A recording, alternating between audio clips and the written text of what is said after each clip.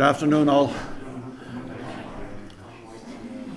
And you're very welcome to uh, this meeting with Lord Adonis, uh, who is, can I think, fairly be described as a, a fervent European. Um, the title is Why Brexit Can Still Be Stopped. I would suspect that almost everybody in the room is hopeful that it can be stopped. Uh, and we'd be very interested to hear you tell us uh, why that may be so.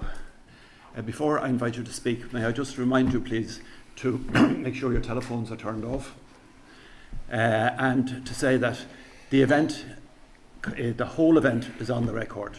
Not only the initial uh, speech, the initial talk, but the question and answer it afterwards.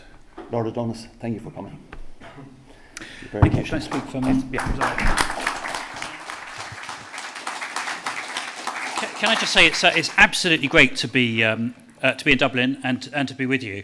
Um, can I let you into a secret? The passion of my life is in fact trains. It's not fighting Brexit or doing any of this international relations stuff. Indeed, until this Brexit thing got going, I'd never made a speech in Parliament about foreign affairs. I'd just taken it as for granted. I regard it as a very boring subject. We were in Europe, you know, we no longer had any of these imperial pretensions and all that. So foreign policy was largely on autopilot, and we had extremely distinguished ambassadors and, uh, uh, and experts who dealt with it. It's only because of the existential crisis of Britain's relations with the rest of the world, actually, but not least with uh, the European Union and, uh, first and foremost, with uh, the Republic of, of Ireland that I've got involved in this at all. My great passion is, is, is, uh, is um, is infrastructure and education.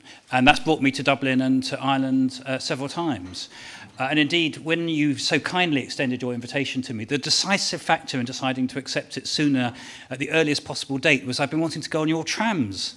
And uh, I've, I've tweeted out, those of you who follow me on Twitter, I've already done several tweets on the trams, on the green line, where it goes, the alignment, the, where you've ordered the trams from. And I've done a video going, going past the General Post Office and all that. So my mission is finished. I mean, I've done what I came here to do.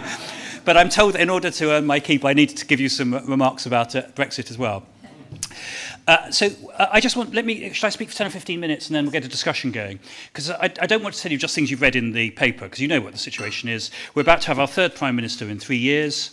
Theresa May's deal was rejected three times. The European Union has made clear there isn't going to be any substantive renegotiation. There might be a bit of waffle, but there's already a load of waffle which is already there. There's you who follow the detail of it in the letters that were exchanged between Juncker, Tusk and Theresa May about accelerating trade talks and all that, but the backstop will be there, all of the withdrawal agreement will be there.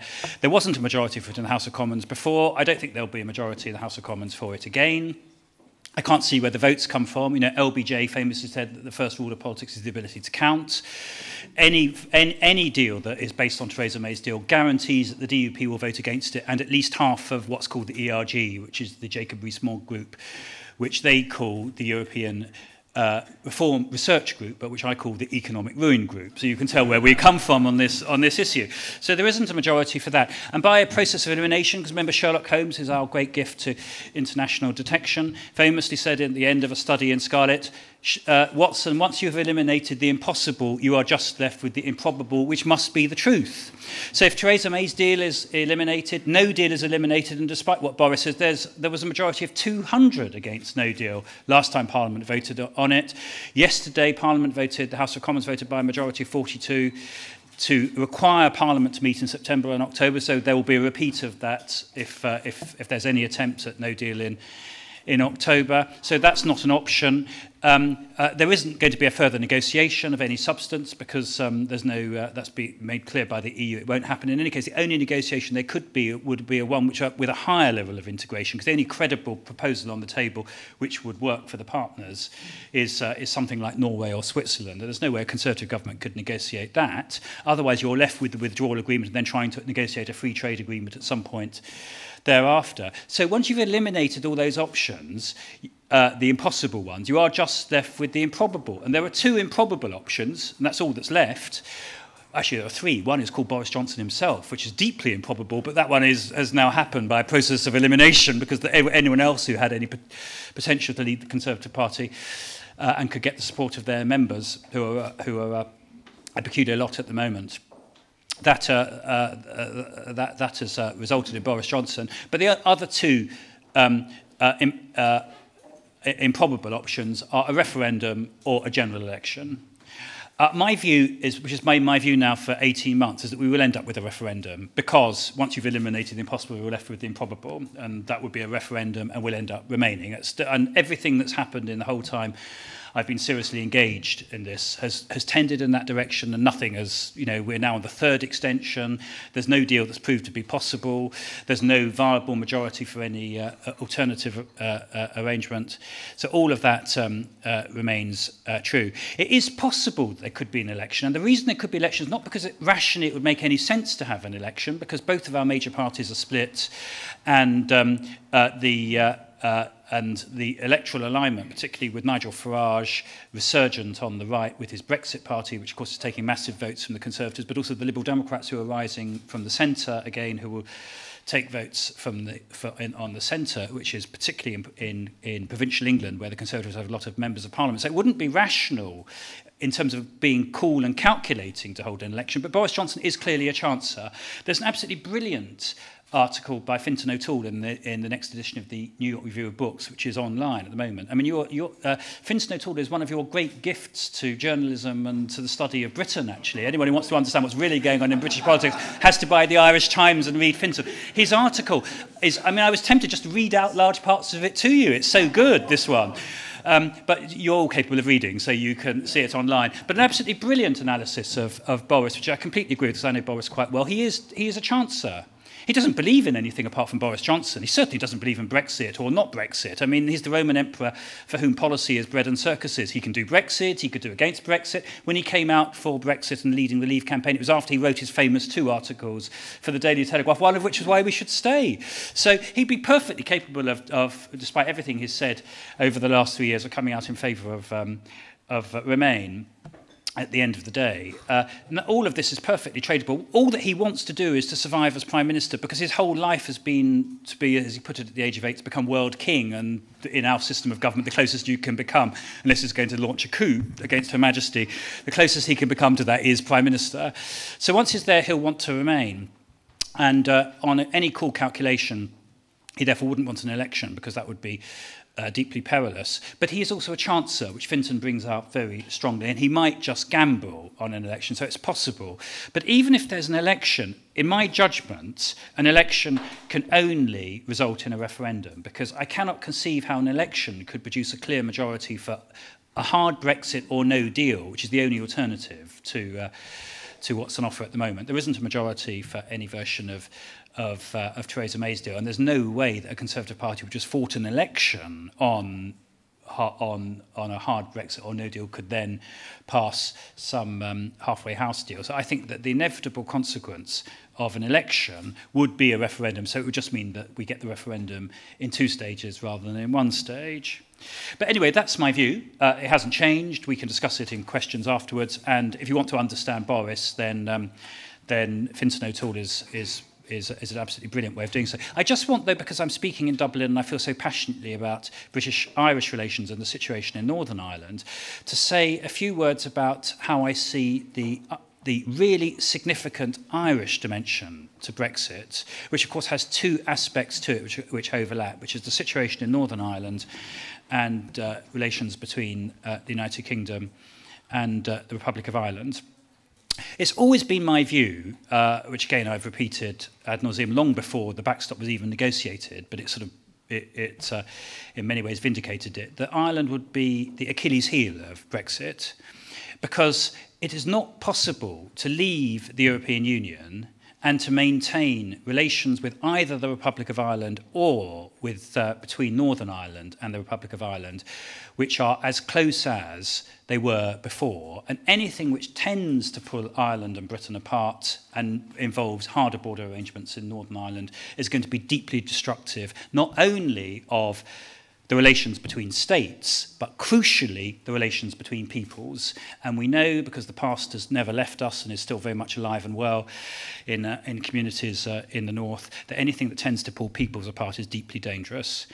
And that is the reason why Theresa May, who I think has in many ways handled this whole um, uh, episode very, very badly. I mean, in, in her defence, she didn't create Brexit, she inherited it, but nonetheless, it's been handled very badly.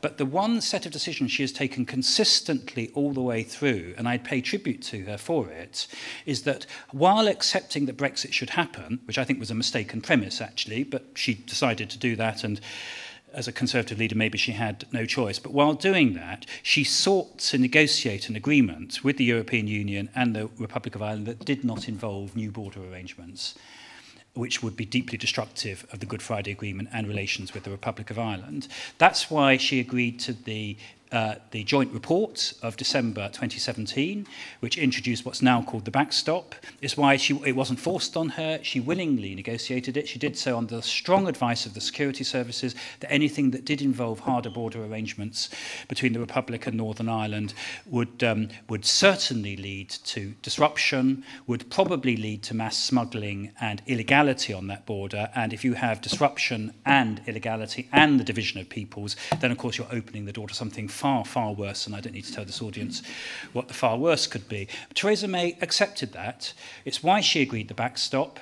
It's why even when the backstop then became bitterly controversial with the with the right wing of the Conservative Party who saw it as basically keeping Northern Ireland within the European Union, which is true. That is basically what it does. That is essentially, I mean, it's always important in politics to simplify to what is the reality of the situation. The reality of the backstop is that whilst Great Britain would leave the European Union, Northern Ireland would stay in, in some very peculiar uh, uh, kind of um, uh, you know Switzerland's type arrangement is essentially what would have would have happened to to uh, Northern Ireland. But even as that became controversial, she did not actually ditch the backstop. What she did was two things. Firstly, she sought to create a UK-wide backstop. She hoped that by generalising it, it would become more acceptable. And in fact, that didn't make it any more acceptable because the, that just heralded the possibility of the whole of the United Kingdom staying in the in the um, uh, in, uh, in, the, in the single market and the customs union. Now, I, of course, thought that was wonderful because that is then the obvious thing if you're going to stay in the customs union and the single market and all that is why don't just stay in the whole thing? I mean, you know, so I was busy pointing out in speeches in the House of Lords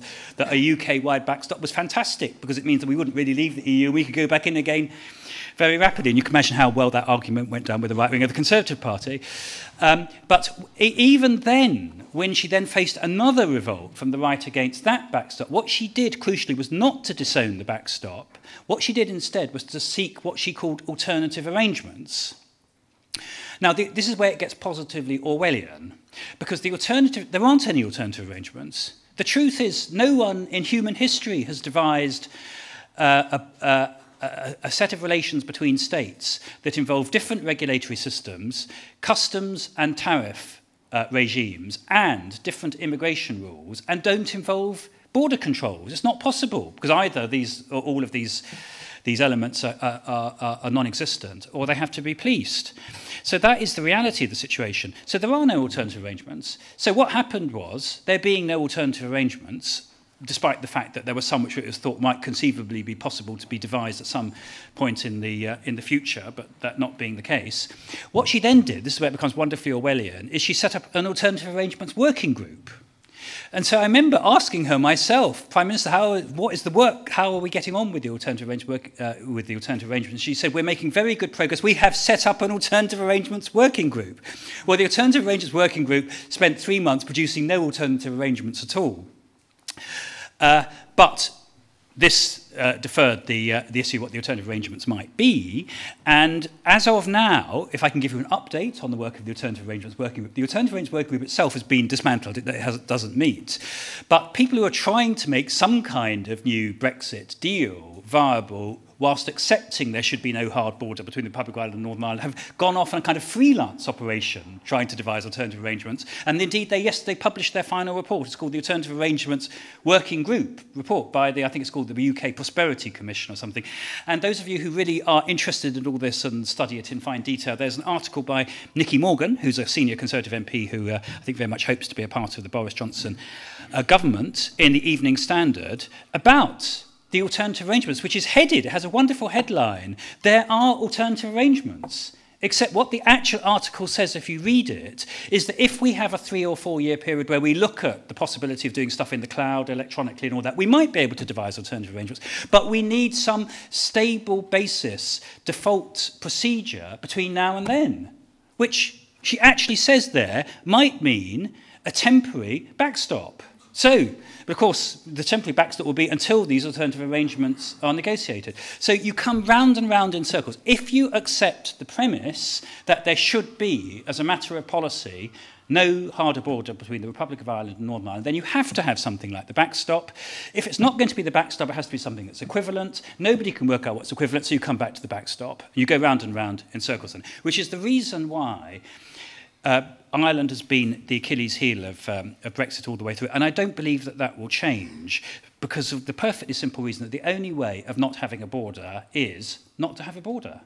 There is no other way of not having a border. And the only way of not having a border is not to have differences of immigration, regulatory, and customs and tariff rules on each side. And since the whole purpose of Brexit, in the conception of those people who are propagating, is precisely that there should be different immigration, tariff, and regulatory rules, you therefore have to have a separate regime for Northern Ireland. It is just not possible to square this circle anyway. And my concluding remark is why is it that I believe there is the Achilles heel? It's because the, the overwhelming majority of parliamentarians in, um, in, uh, in Britain, and I believe actually, when it comes to the crunch, this will include Boris Johnson, are not prepared to take responsibility for turning the clock back, either in terms of the situation in Northern Ireland or in terms of the fundamental relations between the United Kingdom and the Republic of Ireland.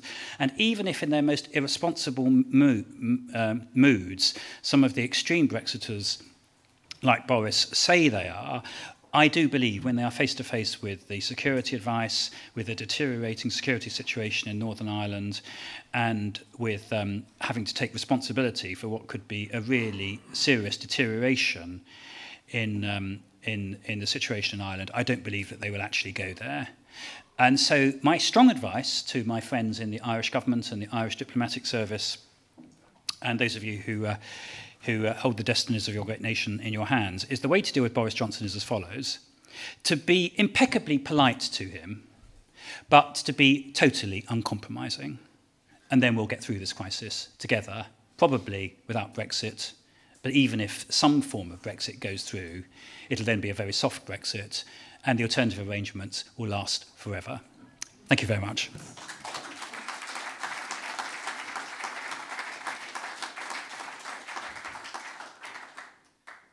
Beginning to wonder there for a while were you going to write another chapter of Westminster? that was fascinating. Um, i invite questions or comments, uh, if you don't mind, if you'd say who you are and if you're uh, associated with an organisation. Yes. Brendan Lynch, uh, what's going to happen? What's going to happen on the first of November? There's a mic here if you want. Uh, the sun is going to rise and everything will be the same as on the 31st of October. Because I, don't, there's no, I can't conceive of a situation where Brexit will have happened by, by the 31st of October, so it'll be fine. The default is that Britain leaves the European Union on the 31st of October. So how is it not going to leave? The default is whatever Parliament decides, because we're a parliamentary democracy. And um, uh, I, uh, we know uh, the past always being the best guide to the future when faced with the last default which was the United Kingdom leaving on the 30th on the 29th of March where the default was also leaving with no deal faced with the prospect of that happening and a, a government that was still trying to keep it in play until very late in the day. Parliament took charge. Legislation was passed over the head of parliament so over the head of the government, requiring the government to, to, to negotiate a, a, an extension of the negotiating period, and that is precisely what happened.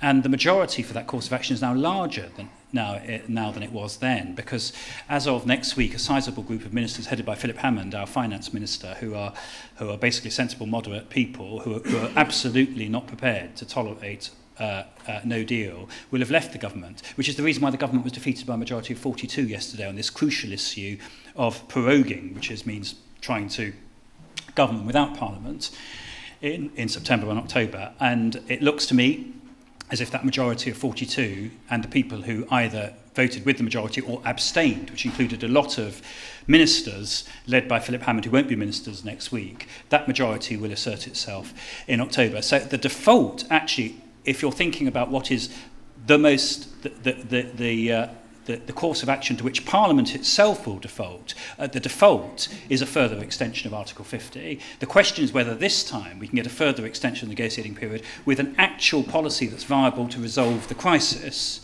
And that actual policy, in my judgment, the only one that really works is a referendum. I find it, as I've said in an interview with the Irish Times before, because I'm very important, it's very clear this is understood, I find it almost inconceivable, not completely inconceivable, because in life and in politics thing can, things can happen by accident, but it's almost inconceivable that the United Kingdom will leave the European Union on the 31st of October without a comprehensive set of relations which amount to something like the withdrawal agreement and the political declaration as an absolute minimum.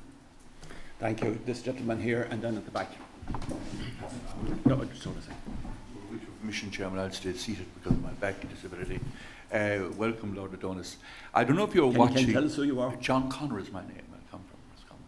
Um, uh, uh, I don't know, Lord Adonis, if you're watching last night the special panorama programme on uh, on Brexit, and you rightly commented on the, the genius of the British uh, Foreign Service to, you know, for for coming up with solutions and for compromise and so on. That has been a historical fact. But if you, the interesting thing last night was there were two central figures, Martin Selmayr and, of course, Michel Barnier. Both of them commented consistently on the lack of preparation by the British delegation, whether it was led by Davis or whoever, on all occasions. They just didn't have anything prepared, even that could fool the Europeans. Can you explain what was going on? Why, why did the Foreign Service, I know it wasn't directly uh, because there was a special Brexit, Brexit department set up, but why these wonderful civil servants somehow hadn't uh, hatched a plan of some kind? And very often, as you know, I was once a member of the Parliament myself, civil servants are more important than ministers. Um, well, it's not because we don't have very able people. Uh, Ollie Robbins, who was the chief negotiator for Theresa May, is one of the most able officials that I, as a former minister, have ever worked with. But the problem is, if you have a, a hopeless and impossible policy, then no amount of ability can disguise the fact that the policy is hopeless and impossible. And once Theresa May had made her speech in Lancaster House in January 2017, setting out as her red lines her non-negotiable um, requirements that Britain should leave the customs union, leave the single market, and leave all of the collective institutions which are within the wider ambit of the European Union, including things like Euratom and, and the, Euro the European Medical Medicines Agency and things of this kind, then it, there was no amount of ingenuity that could negotiate around that. So that was the problem. So actually, it's not the case that, the, uh, that Ollie Robbins was unprepared in the sense of not having done one huge amount of homework and lots of drafting. They'd done all of the homework and lots of drafting, but you cannot draft your way around the fact that you're leaving the customs union and the single market and you're not going to be part of Euratom. And the, and the problem all the time is, is that because these were basically impossible propositions to wed to a deep and special partnership and a continuing strong economic relationship, it, they were between a rock and a hard place. And um, the only way, it's true that some of the ministers were very unprepared. Well, in my experience, by the way, ministers are often unprepared. The officials were prepared, but the ministers were unprepared. But part of the reason why the ministers had to be unprepared, it's the reason why Boris Johnson sounds extremely unprepared at the moment, is it's not possible to prepare those positions and, and for them to be sustainable once you declare as your position that you both want to have close trading relations with the European Union and the capacity to negotiate third-party trading agreements with the rest of the world, and you want to leave the customs union and the single market, and diverge in key regulatory and customs arrangements terms from them, you cannot put these propositions together. The only way you can actually get through a meeting and utter them is by not being prepared and simply declaring them. Because you can't, you cannot, you cannot do in the way of an essay or any form of preparation, extend the propositions with any further detail. Because as soon as you seek to do so, it unravels. So Liam Fox, who's quite a bright guy, he's a GP and all of that, who was talking about global Britain and how we're going to negotiate the, the, uh, the additional trade deals and all of that. He never could get to the position of explaining how he would do it, because of course, as soon as you start to explain it, you come up against the facts that the European Union has 53 trade agreements with 73 other nations, which are most of those with which he would then want to start negotiating trade agreements from a cold start. completely exploding his own proposition. So this has been the fundamental difficulty all the way through. Is not that it's a lack of preparation, but if you are proposing to drive yourself off the edge of a cliff, it doesn't really matter whether you have a, a detailed or a vague map you still end up over the edge of the cliff. This is the difficulty, and this is the situation which they faced. And it's the reason why Ollie Robbins is not going to continue as the Prime Minister's negotiator. He's announced it, he's leaving the civil service. Why? It's just impossible for him to continue doing his job, given that the red lines are becoming even harder than they were before, and he, he could barely get an agreement on the basis of the last ones. So the preparation will be even less, not because there aren't very bright people involved, but because no amount of, of intelligence and ingenuity can turn a cliff edge into a golden meadow. Thank you. Um, I've, I've two hands down at the back and I've four at the front. I, I won't take any more for the moment. At the very back there. Yes. Thank you, uh, Michael McLaughlin, a member of the Institute as well. There's another scenario doing the rounds, I don't know if you could evaluate it, which is that I suppose Boris Johnson and the modern Tory party, been quite English nationalist, could revert to a Northern Ireland only backstop and, and sacrifice the DUP uh, because then you would, if you could secure such a deal through Parliament, then through an alternative majority, you'd go straight for a general election and you wouldn't need the DUP anymore. So with would withdrawal agreement with a Northern Ireland only backstop. Uh, well, I, it, it, it, it, can't be done, is the point, because it certainly can't be done in this Parliament, because, of course, if it, it reverts to a Northern Ireland only backstop, the DUP will definitely vote against him.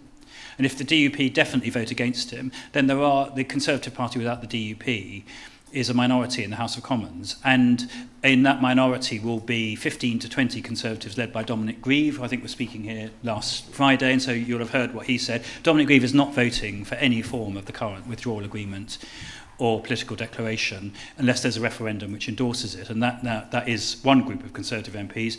And there will be a group of ERG MPs. Have any of you met Sir William Cash and Mark Francois and these people? Let me just tell you, you should invite him to speak. And I can assure you that you will hear from him that there is no version of, of, of Theresa May's withdrawal agreement, whether, whether it's a Northern Ireland backstop, whether it's a backstop that just extends to the, the town of Coleraine. There is none that, that Bill Cash is voting for.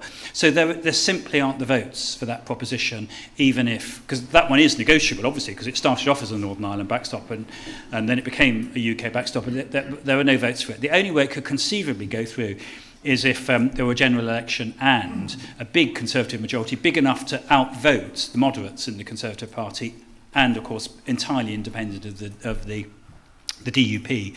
And uh, I think, as you know, pigs flying is a much more likely scenario than, than that. Uh, Ronan Tynan, a filmmaker and member of the Institute.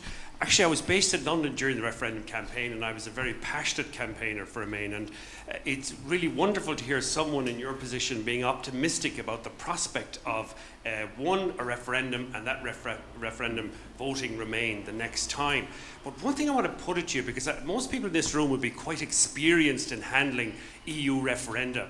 And one of the most significant features about these referendum campaigns in Ireland were very successful, generally speaking, in securing support for Europe was the active involvement of trade unions and businesses, you know, the key mm. drivers of the economy. And one thing that shocked me in Britain was the lack of action, the lack of activity, the lack of involvement by these key players representing workers and employers, blah, blah. And, you know, it is conceivable that a referendum could be passed, but the way business and even trade unions are intimidated off the political mm. field, even listening to somebody like Len McCluskey, who only finally, the leader of Unite, came out mm. when the hmm. prospect of a no deal Brexit yeah. is on the. And he admitted as well, he said, you know, I listen to my members and in all my various committees, no one is voting for Remain. So I put it to you, how, how is it conceivable that Remain could be passed the next time, which I passionately hope that it is, if the main drivers, the main people who really okay. are responsible in practical terms for the economy remain virtually neutral or unengaged. Thank you. Thanks, Ron. Well, we definitely need them engaged if there's get to be a second referendum. And um, I believe they will be much more engaged than, uh, than, than last time, is the answer to that.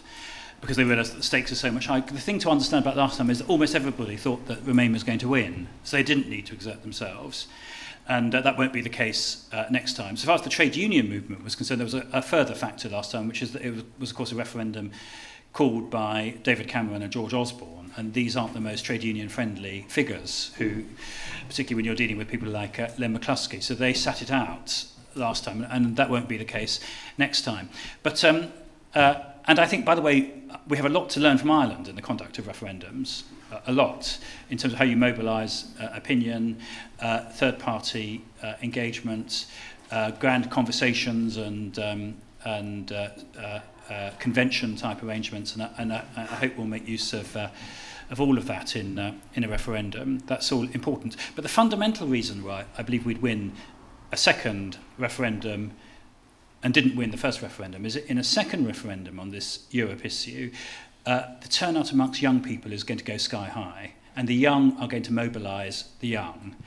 Uh, under 30s are energised by Brexit in a way I have never seen them engaged uh, in politics in the past. There's a whole set of youth groups, including in Northern Ireland, a wonderful group called Our Future, Our Choice Northern Ireland, which has some a cross community group that is is really um, uh, uh, making uh, significant inroads in the debate in, in Northern Ireland. That's, this is going to be a big, big factor in the referendum, and the overwhelming majority of young people are going to vote uh, Remain in that referendum. And uh, I do, I spent the last year doing meetings up and down the country, but I do a lot of youth meetings and university meetings. And it's the first time I've done in my political career large meetings of young people. And as one of the students put it to me, the meeting I did recently when I explained, you know, exactly how what's at stake, that they're going to lose the right to, uh, you know, live, travel, work, love, do all the, you know, across Europe, across uh, the 28 nations they've got at the moment. One said to me, yeah, I think we now get it. He said, what you're really saying is that we're going to be shut up on a small island with Jacob Rees-Mogg, Nigel Farage and Boris Johnson. and, uh, and that's not a good idea. And that is what is going to win the second referendum uh, for us. It's going to be the young mobilizing the young. And, uh, you know, a, a, a, nobody born in this millennium voted in the last referendum, which is not lost on uh, the, the young people of, uh, of the UK today. And that is not going to be the case, of course, in a, in a second referendum. Interesting. The, the, the young were very important in recent referendums here. Donald? Donald Denham, thank you, uh, Lord Adonis. I share your interest in trains, but what you've been describing is in fact a train wreck. Um, I'm surprised you haven't mentioned what I would consider, many would consider the highest probability, therefore your highest improbability, and that is uh, a, a, general election, a Tory part, party that is obliterated or badly split, and a Labour premiership under Jeremy Corbyn. And indeed, why not Jeremy Corbyn? Uh, uh, well, of course, I'm wildly enthusiastic about that, that option. um, and it's, it's possible. It's possible. Um, but I think actually the very fact that it is possible is the reason why Boris won't call an election. That he's there with Linton Crosby, who is a past master at, at, uh, at uh, winning elections, and you, when you do the numbers, you see the first thing that's going to happen after Boris Johnson becomes Prime Minister is a by-election in a place called Brecon and Radnor, which is a part of rural Wales on the English border, uh, which the Lib Dems are almost certain to win by a landslide which is hugely significant because the Lib Dems, when they were in coalition with the Conservatives, were eviscerated in the 2015 election and barely recovered in the 2017 election. But they have, partly because of Brexit and partly because they are the only viable non-Conservative party in most of provincial England, they've uh, been surging uh, recently. So when you, as soon as you start looking at that, plus the fact that the Conservative Party would be wiped out by the SNP in, um, in Scotland if there was an early election, plus the fact that the Peterborough by-election, which is very recently last month, in a Labour Conservative marginal, which is a mainstream part of metropolitan England, Labour, despite the controversy around Jeremy Corbyn's leadership, Labour won that with a big with a big um, squeeze on the Lib Dem vote because of the tactical position between Labour and the Conservatives. For all those reasons, I don't think there will be an election. But you are right, if there were to be an election, all those considerations could easily lead to a, a Labour government. And for the purposes of Brexit, if there's a Labour government, uh, it that what the first thing that would happen under a Labour government of Brexit is, to, is that Brexit would, to, would be junked. Uh, almost certainly through a referendum, but through a referendum where the government itself was urging a, um, a Remain vote. And if there was an election which had returned either a majority or a minority Labour government, which itself called a referendum on the cause of Remain immediately after that election, which is what I think would happen, I think that absolutely guarantees that, uh, that Brexit would, uh, would, would be finished. Okay, just you. Uh, thank you very much. For your presentation, Colin Rafter, retired Foreign Affairs. Two small points. Looking at the idea of a referendum, if there's a move towards a referendum to reverse Brexit, the cry will go up betrayal, and that will be quite strong, and the Brexit Party will play on that. I'd like you to address that if you could. Secondly, just taking up the point about the British Labour Party, it's a kind of chaos, and we don't really understand what's happening at the side of the, of the, of the, of the channel, uh, the whole question of anti Semitism and, all the rest of it. Does it have a coherent position on, on Brexit? Will it have a coherent position on Brexit? Thank you. Well, I, I was rather hoping you could explain to me what's going on in the Labour Party. um, uh, but on Brexit, I mean, there are a lot of other issues inside the Labour Party at the moment, and some of which are, are truly extraordinary anti-Semitism and all that. But so far as Brexit's concerned, the situation is very simple in the Labour Party. The overwhelming majority of Labour members of Parliament are Remain, and for a second referendum. The overwhelming majority of Labour Party members are for Remain and a second referendum. The majority of Labour voters, it's crucial to understand this because somehow there's a, a, a, a, it's painted as if somehow the north of England is a, a massive working class revolt against, uh, against Europe and um, pressure on the Labour Party. The majority of the Labour vote everywhere across the UK was uh, in favour of Remain, including in the north of England.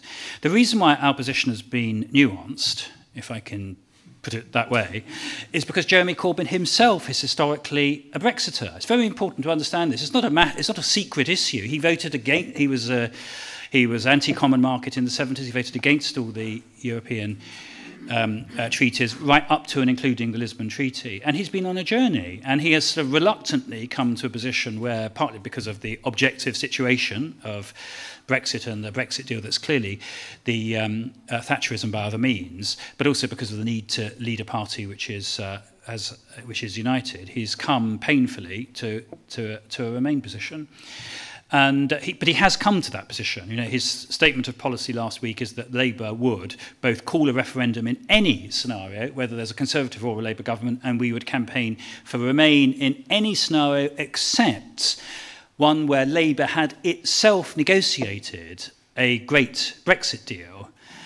That ain't happening as everybody, besides probably two members of his staff, that no, that's not happening. So Labour's position is is actually on the on the Brexit issue is uh, is is clear. It's it's been a painful process, but it's been a painful process for the same reason why Jeremy Corbyn's whole leadership of the Labour Party has been painful because there are very big differences between uh, somebody who's, uh, uh, who, who holds Jeremy's views and mainstream social democrats. And the question of betrayal, how do you deal with that? Well, there, there clearly will be a cry of betrayal. And Nigel Farage, who is the an extremely um, uh, an extremely capable uh, populist will get it going in a big way. But it's very important to, to distinguish between the cries of betrayal from the populist right, which is where Nigel Farage and part of the Conservative Party come from, and the actual sentiment on the ground.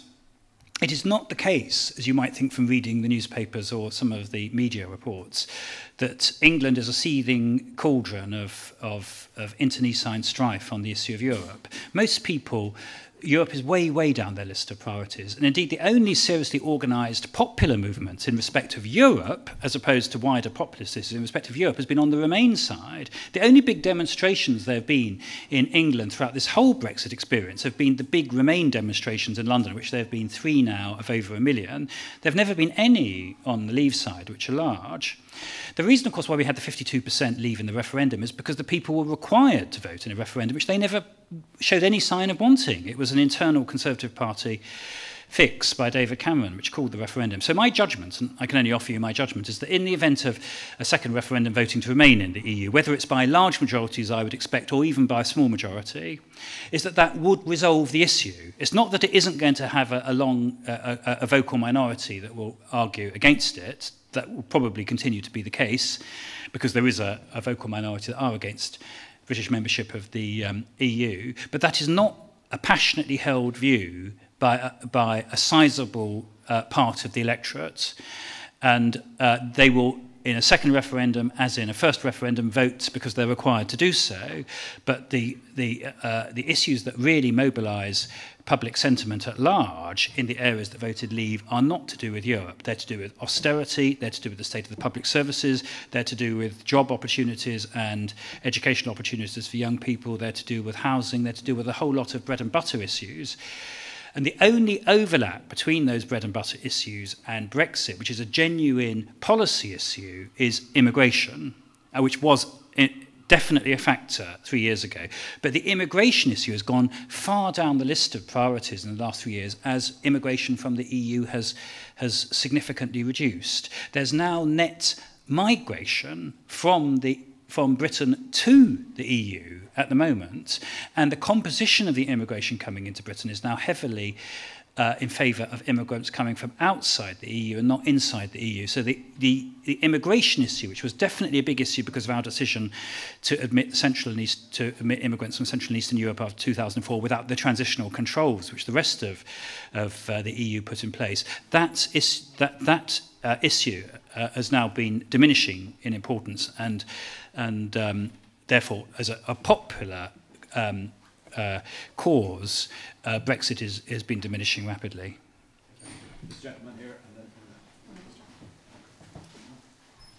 Kieran O'Mara, member of the Institute. Considering that there is need for unanimity to extend uh, Article 50, um, required of the Council of Ministers or the European Council in October, can you be sure that all the member states will agree to extend Article 50 uh, a further period? Well, of course, I can't be sure. But again, in March, what happened was uh, that, that, uh, uh, that your Taoiseach and uh, Chancellor Merkel were leading the, um, uh, the calls for, uh, and Donald Tusk, President of the European Council, were leading the, the, the, um, the cause of a long extension. And um, the opposite cause was led by President Macron, but he was not calling for no extension, he was calling for a short one in order to concentrate minds.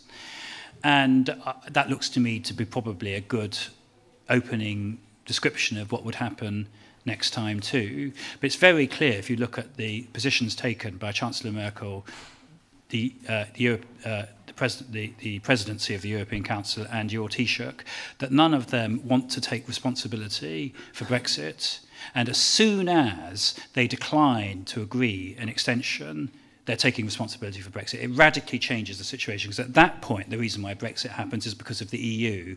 It's not because of Britain. And what Donald Tusk, who's been a very wise president of the Council, and Chancellor Merkel, has been an absolutely brilliant Chancellor of Germany, worked out long ago, is that if Britain leaves the European Union, which will be a colossal mistake and deeply damaging both for Britain and for the EU, it must be Britain that takes responsibility for it and not a stab in the back argument that will develop about how they were forced out by the EU. And Merkel realized a long time ago, because she e-, exhibits massive patience, of course it's easier to be patient if you've been Chancellor of your head of your government for 15 years, so you, you've seen all these things in the, uh, in, in the, uh, uh, at, uh, uh, in, in the longer process. Um, she understood a long time ago that the way to deal with Brexit, so far as the EU is concerned, is patience and not attempting to force the pace. And it looks to me pretty clear that that's the strategy that she'll adopt in October. So far as your, as, as your government's concerned, of course, for Ireland, if anything, Ireland has even less interest in a hard or disorganised Brexit than the United Kingdom, because you not only get all the trade problems and the dislocation, economic dislocation issues, but of course you get the full brunt of the whatever is going to happen on the border. And therefore, as I've been patiently explaining to um, to journalists in, in, in, in London who don't sufficiently understand this. It's not the case that you have a United Kingdom position where we want an extension and this angry and uh, and um, uh, fed up EU that's uh, not prepared to grant it. Actually, so far as the key players in the EU are concerned, they worked out a long time ago that they have just as little interest in a hard or disorderly or no deal Brexit as we have. And in the case of Ireland, they have an even greater interest in it not happening. And all they have to do to avoid it is to extend. They don't have to do anything else. And so I'm fairly confident that that would happen in October. It would be helpful if, we, if, if, if there was actually a policy for what was going to happen in the extension but even if there isn't a policy which the extension, it's still self-evidently in the interest of the EU itself to extend. That I, I would be very surprised if that doesn't doesn't result. Thanks. Um, uh, welcome back to uh, Dublin Lord Adonis. Uh, I'm John McGrane. I'm from the British Irish Chamber of Commerce. Um, just sticking with that point for a moment. Um, so you, you painted a picture that ultimately I think leads towards a, re second referendum. Um, the first thing that will happen to Boris about seven minutes after he's elected, before the Brecon by-election, is Whitehall officials will lock him in a room and say, this is the truth, nothing will work. And so he's faced with the stark reality of having got power, but being expected to exert it uh, appropriately. Uh, if you map that forward, and bearing in mind that we're still almost three months away, or actually three months away from the denouement of this, no matter how late it runs, so there's time, what, what will be the step by which he, as PM, knowing that harsh reality, is the owner of ultimately a policy shift towards a second referendum? Because that seems completely at odds with what we're hearing right now. A, a long holiday is my answer to your question. The first thing that happens when Boris becomes Prime Minister next Thursday, everyone goes on holiday. Uh, and he can't negotiate with the EU because there's no one to negotiate with. I can assure you, Monsieur Barnier is not proposing to spend his summer in, uh, in Brussels doing a negotiation. So the first thing that happens is everyone goes on holiday. Um, uh, there, there may be some courtesy calls. Maybe the, the, the Taoiseach and Boris Johnson will meet, maybe Chancellor Merkel will meet, but these will be essentially at the courtesy level. They're not going to be serious negotiations. So nothing seriously in terms of negotiations would start until September. Uh, the great beauty of diplomats, even when they uh, uh, have impossible positions to negotiators that you can at least keep it going for some period of time. And so I would, uh, and it's particularly important for Boris that, that negotiations of some kind, even if they're not leading anywhere at all, uh, continue uh, during and beyond the Conservative Party conference because he has a slight problem. He has to deliver his rabble-rousing speech to the Conservative conference about how he's about to triumph over everyone at the end of September. So what happens, I think, is everyone goes on holiday for five or six weeks negotiations start in September. He turns up at the Conservative Party conference and the meeting of Parliament in September and says, I can't say anything at all. I've got to be unaccustomedly quiet. I've zipped my, my mouth up, which is something Boris almost never does, because we are having these, these really important and detailed negotiations and uh, they're going extremely well. Uh, and then that takes us to October and then we get pitched into the crisis then. And by then he hopes, well, of course, by then that is two months since uh, he's, he started, essentially. And since he's perfectly capable of eating his words at two minutes' notice, he doesn't need two months, by then he, he will be perfectly able to take a different position. But even if he doesn't, as I say, all, everything I described earlier about what will happen in Parliament will, will then start in, in October anyway, I think. Thank you. Cormac McQuinn from the Irish Independent. Uh, you said earlier that your advice for the Irish government in terms of dealing with Boris Johnson is to be impeccably polite and uh, uncompromising. Take the scenario where the Irish government is uncompromising. What's stopping Boris Johnson then following through on the, the promises he's made during the leadership campaign just to leave on the October 31st with no deal? Why, why wouldn't he do that? Pa Parliament. There's a, there's a fundamental obstacle to him doing so. Parliament has to agree and Parliament won't agree. It's, it's fundamental. Uh, Parliament voted by, the House of Commons voted by 430 to, votes to 203 from memory against no deal last time it came up. Uh, the only mechanism by which he could overcome that is by banning Parliament from meeting, which is this thing called prorogation, which is something which hasn't been attempted since the English Civil War for a, a, a, a protracted period of political controversy. But Parliament yesterday voted, the House of Commons voted by a majority of 42, essentially to require Parliament to meet in September and October. It did it with huge ingenuity because people are being extremely ingenious at using the full resources of the British Constitution at the moment. It did it actually, ironically, on the back of a bill to extend the powers of the government to continue uh, quasi-direct rule in Northern Ireland because there isn't an assembly and an executive. And the Speaker of the House of Commons, who is part of this great ingenuity, allowed a whole set of amendments to be moved to that bill, which uh, have fundamentally amend the British Constitution. And we have nothing whatever to do with the operation of the executive and the... Uh, and the Assembly of Northern Ireland. And it's that that requires, and it does it, it's, I mean, it's, it's wonderfully ingenious. You know, these the officials, when they get going, including parliamentary officials and Dominic Grieve, who's great at this, and me and others, we do very well. So the way it's being done, you'll find hilarious.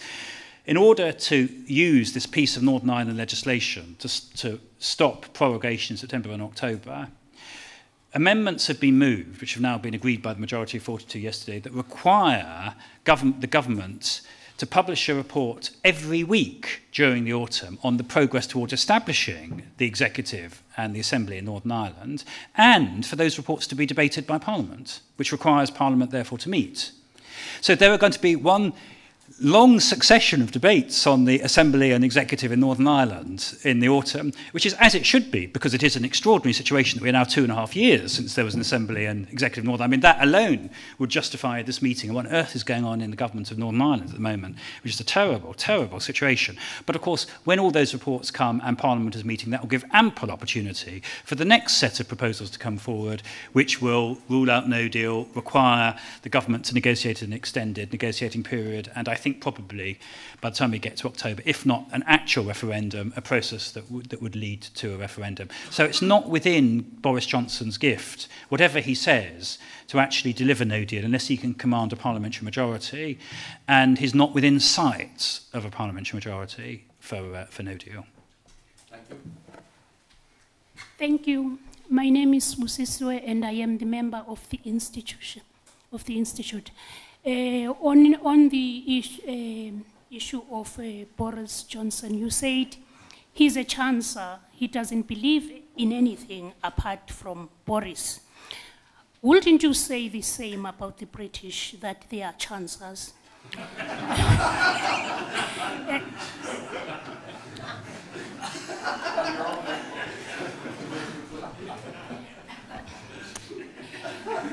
Okay, I didn't mean it to be a joke. um, but the point is that um, there are chances, in a sense, that they overestimated their value. Uh, for example, uh, Britain, as we all know, they went all around the world. And in my opinion, they never learned anything apart from being British. And now this is a big problem because they still think they are very important people. Of course, you are very important people, but to a certain degree. And now, what is bothering me is that you, uh, you hear conversations of saying there is a wide, big, a great world waiting for us. But no one is reminding you guys that how about all these offenses we have caused? Uh, are, they, are they going to be waiting for us with open arms? Because, as I said, you never learned anything apart from being British. So, how are you going? And no one is addressing that issue. And that is the problem, where everyone seems to be polishing egos instead of let's, let's speak honestly and truthfully.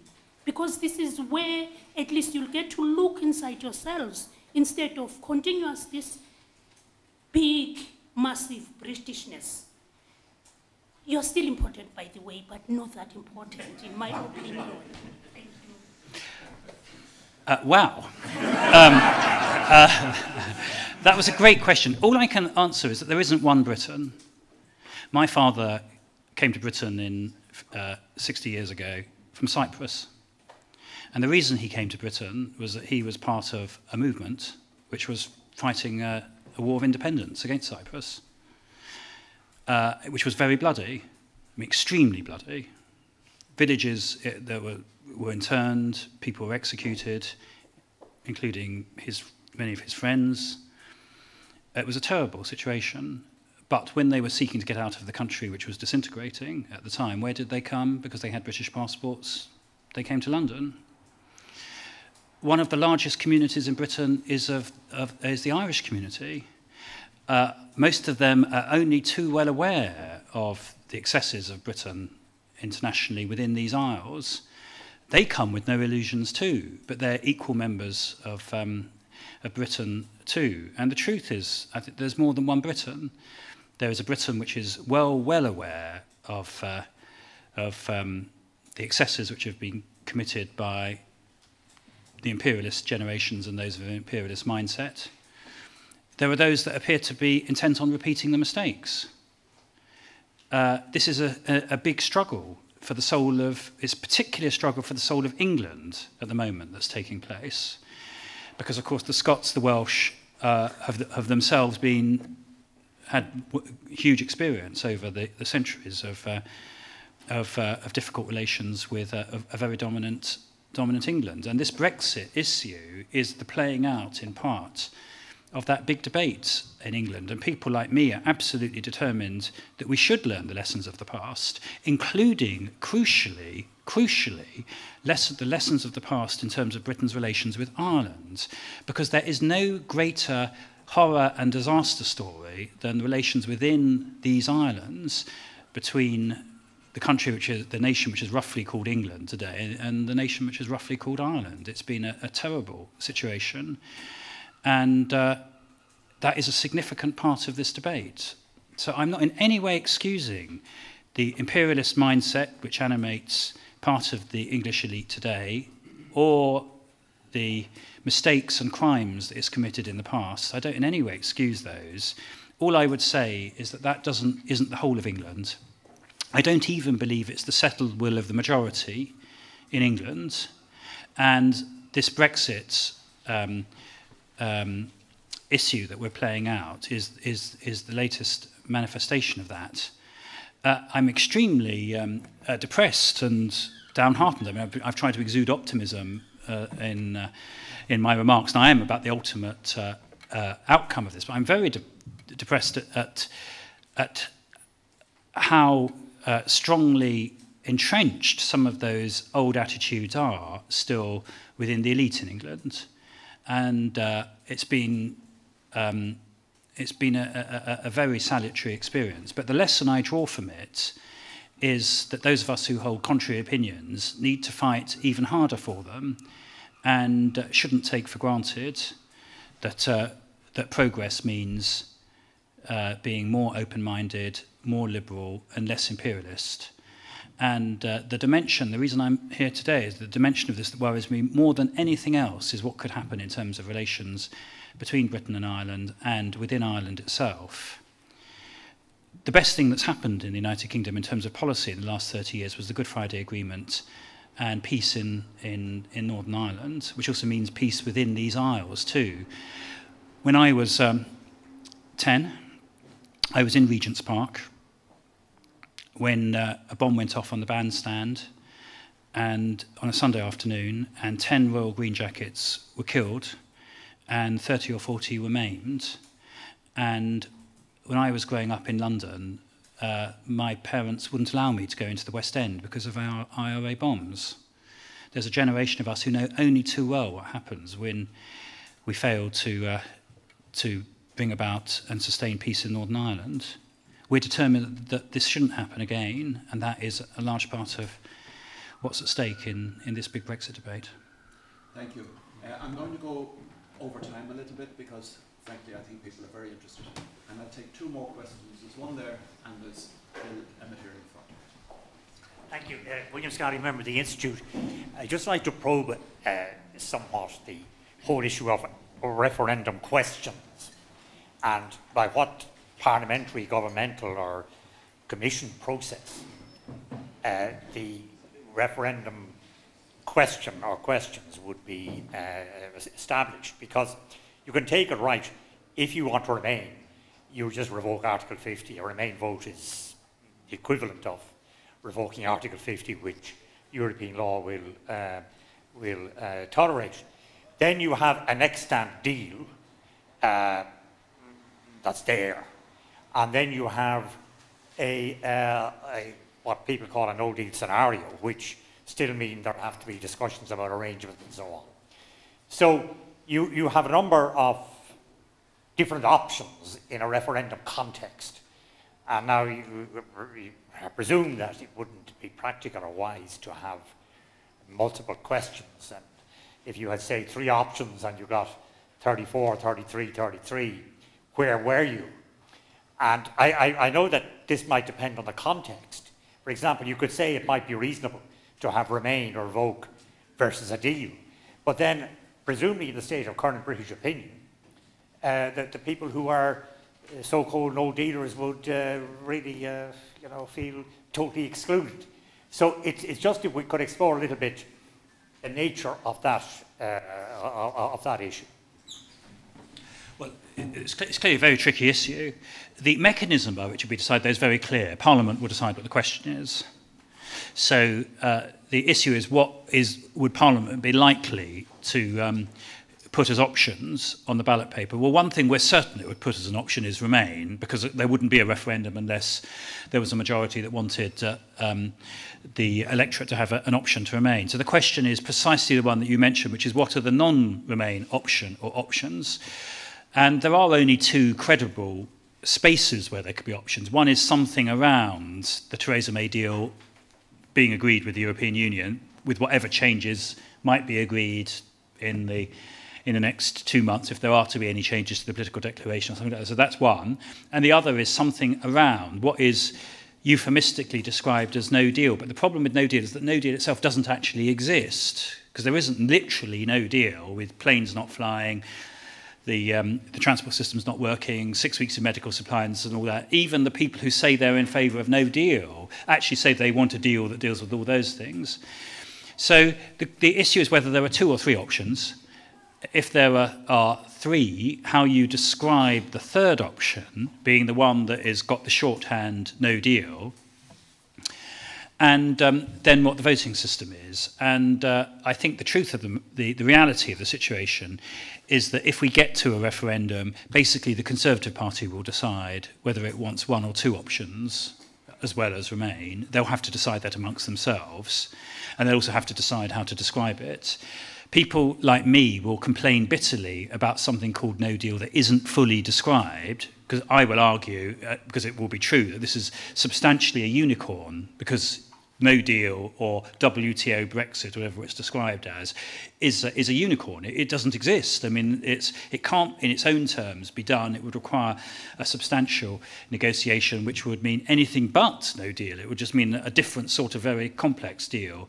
But probably we would lose that argument because Boris probably will want some hard stroke no deal Brexit on the ballot. I would have thought it's almost certain if there are three options that you'd have preferential voting.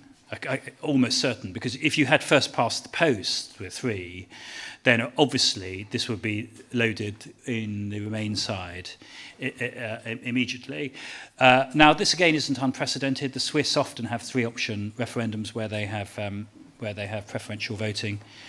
What do I think would happen in that situation? I think Remain would win by a comfortable majority because what would happen is the people who vote for the halfway house uh, which is going to be a minority of those who want to leave, because you'll have Farage and most Conservatives will be arguing for the harder option, uh, they will transfer, I would have thought, at least half in favour of Remain as their second option. So we end up with Remain. But how you actually describe those two options, as I say, is would be basically a matter for the Conservative MPs to decide collectively, and it's, it's not straightforward by any means. Uh, thank you. I, uh, Andrew, I very much, uh, Bill Emmott, sorry, I'm a proud Brexile and former journalist like Lord Adonis, but not in politics. Um, my question, I agree entirely with uh, your analysis and your optimism, but let me ask a slightly pessimistic question about a potential for a soft Brexit from a Boris Johnson government, which is to ask you to do the impossible, perhaps, which is to look into the minds of Jacob Rees-Mogg, Mark Francois, and the DUP, and Bill Cash, and measure their intransigence because it would seem to me that a soft Brexit Boris Johnson option is essentially to, to march them to the brink of a second referendum and say, if you don't agree to get us over this line, we're going to have either a general election which we're wiped out or a second referendum in which you lose your life's hope. Uh, vote for this and then we can argue about the details later, which was always the logical hard Brexit position, but they've never accepted it, perhaps because Theresa May was in charge but now they've got a supposedly believer in charge. What do you, uh, do you think that that can work and how intransigent are they? Well, I, I think that there, there are enough of them who are so intransigent that it won't happen. When the Theresa May's deal came to the third vote, when the majority against came down to 60, which is still huge, you know, when Gladstone's proposals for home rule in Ireland were rejected by Parliament, which was probably the single biggest defeat of a government proposition before Brexit, they were rejected in the House of Commons by a majority of 33 in 1886. 33, and that put the kibosh on I mean, on, on the whole, uh, the plan. Well, the third iteration of her deal was rejected in the House of Commons with a majority, I think it was a 58. And if you look at the composition of the votes against her, there were um, two groups that I don't think are going to be reconciled. The DUP will never vote for Brexit with, with, with a backstop in because it's existential for them. It will result in, in uh, a, a, a, much worse situation for them in Northern Ireland, which could get much, much worse quite quickly. I mean, you could have a border poll and all kinds of things happening, which would be existential for the DUP. So they're definitely not voting for it. And when you come to this ERG group, a substantial part of them did vote for Theresa May's deal last time, including Jacob Rees-Mogg himself and, um, and Boris Johnson, a group of them. But they're an, an intransigent group. And it's important to understand the motivation for the bill cashes, the Mark Francois and all that. What matters to them actually isn't getting some kind of Brexit over the deal. What matters them much, much more is, is purity in, as, as Brexiters, because that is what they see as their place in history.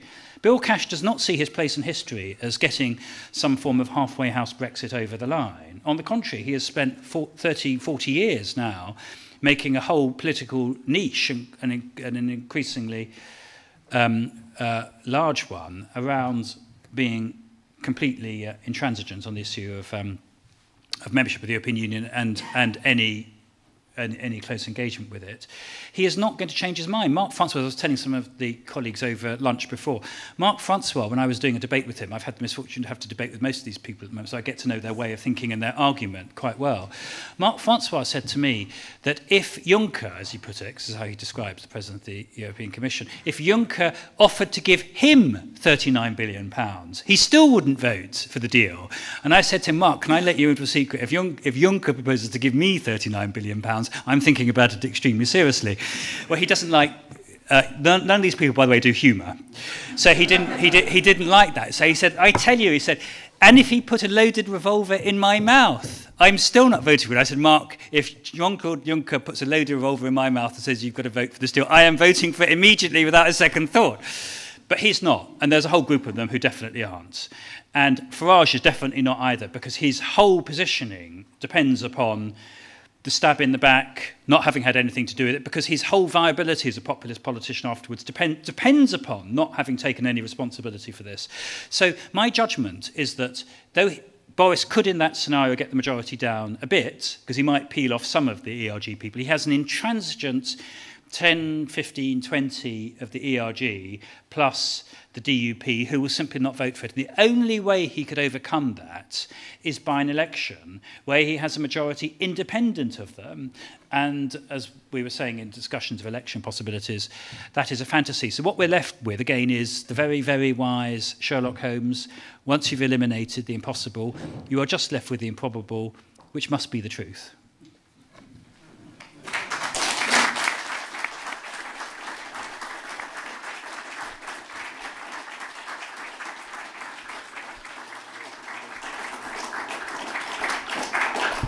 Thank you very much indeed. Uh, I think you have left us with a little optimism. I hope so. That's so, why I came. So. Here's to the referendum. Yeah. Thank you. Thank you.